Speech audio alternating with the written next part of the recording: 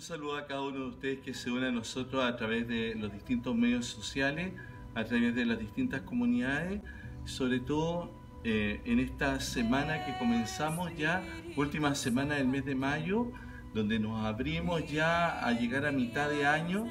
¿Y qué nos viene por delante? Este lunes 27 tenemos ya la misa de unción a las 7 de la tarde, misa de especial oración por los enfermos,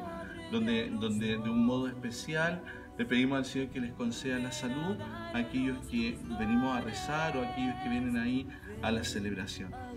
De ahí eh, vamos abriéndonos y, esta semana, el día 31 de, de, mayo, celebramos la fiesta de la visitación, cuando María visita a Isabel y, se encuentran estas dos mujeres embarazadas. Y, ese es un motivo también de, de gozo, porque ese día 31 también, por otro lado, lo invito a rezar por nuestro obispo, por don Cristian, para que el Señor le acompañe, ya que, ya que eh, ese día 31 de mayo recordamos cuando él asumió como obispo de nuestra diócesis, también acá. Y de ahí el día sábado primero, día del catequista, nuestros catequistas nos reuniremos en la tarde de aquel día sábado